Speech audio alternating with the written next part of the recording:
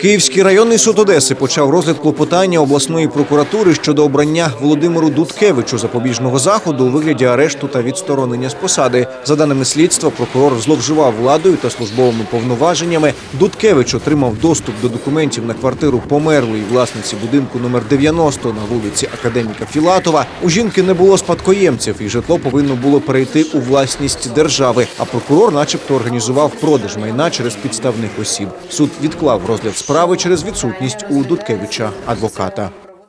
Я надав, підкріпив відповідні судові е, повістки, е, відповідне клопотання та е, документи, підтверджуючи поважність відсутності адвоката. Ваша честь, у тому числі виклик суду та білет, який він, посадочний документ, який він надав до суду і придбав його завчасно. На місці ухвалив з метою непорушення прав на захист підозрюваного зв'язку з тим, що відсутній його захисник, е, відкласти розгляд сказаного клопотання. Нагадаємо, що Володимир Дудкевич підтримував обвинувачення у справі організації масових заворушень, що відбулися в Одесі 2 травня 2014 року. Однак прокурору і його колегам не вдалося переконати суд. Феміда виправдала учасників одеського антимайдану.